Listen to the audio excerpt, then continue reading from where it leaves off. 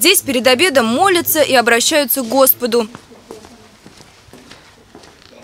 После того, как в храме подкрепились пищей духовную, самое время насытить и тело. На столе в трапезной при Знаменском соборе пока еще красуются масленичные изыски.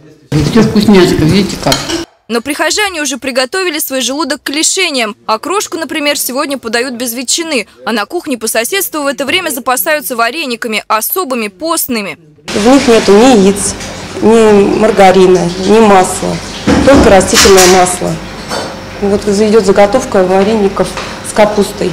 Говорят, что прихожане совсем не против такого меню. Разбирают блюда без скоромных продуктов уже в первые дни поста. Любят так же, как и с маслом и с яйцом.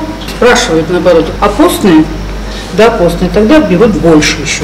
Для соблюдающих пост самое время озаботиться собственными рецептами. Я пробовала на воде вот, на этой гречневой перемалывала. Это, ой, я замучилась. Они тоненькие, они хрустящие, но это надо было очень долго печь. И подумать над высшим смыслом своей религиозной диеты. Ну, как-то приблизить себя хоть как-то к Христу к этим, хоть как-то, чтобы действительно он нес такие страдания, он все, а мы не можем даже вот себя ограничить даже в какой-то еде. В течение семи недель Великого Поста запрещается употреблять в пищу любые продукты животного происхождения. К ним относятся мясо, молоко, яйца и рыба. К тому же табу наложено на сладкое, мучное и майонез. От растительного масла также следует отказаться. Самыми строгими днями считаются э, понедельник первой недели, то есть вот самый первый день поста, и Страстная Пятница – это пятница перед Пасхой.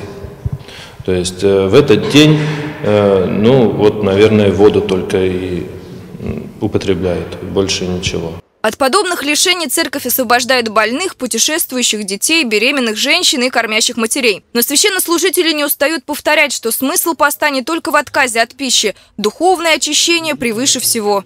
Побольше времени посвятить, э, например, чтению духовной литературы, э, побольше времени посвятить э, помощи своим окружающим, близким людям, меньше смотреть развлекательных передач по телевизору, э, не посещать вообще увеселительные мероприятия вот в этом, а больше направить э, свой мысленный взор внутрь себя.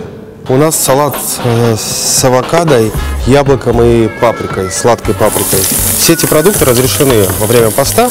Для тех, кто решил отказать себе в скоромной пище, в ресторанах есть множество предложений. К Великому посту здесь подготовились. В меню теперь новые блюда, которые подойдут даже самым воцерковленным посетителям. Это на самом деле мода. Поститься стало модно в наше время. Поэтому часто, очень часто заказывают люди Гурманы совершенно справедливо считают, что даже постное угощение может быть вкусным и необычным. Салат с авокадо с виду совсем не уступает наименованию в меню по соседству. Блюдо, которое можно съесть и не согрешить при этом, стоит 200 рублей. Татьяна тоже славится хорошим вкусом, но в постной пище не видит смысла. В ее распорядке попросту нет времени на размышления о том, что приготовить сегодня на ужин. Все-таки ритм жизни не позволяет поститься нужно, чтобы организм получал э, из разных источников все нужные питательные вещества.